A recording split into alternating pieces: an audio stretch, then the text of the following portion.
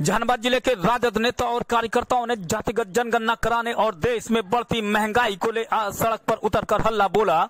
इस अवसर पर राजद के नेता और कार्यकर्ताओं ने कहा कि जातिगत जनगणना बिहार के, बिहार में अनिवार्य है और इसे सरकार कराने की जल्द अनुमति प्रदान करे।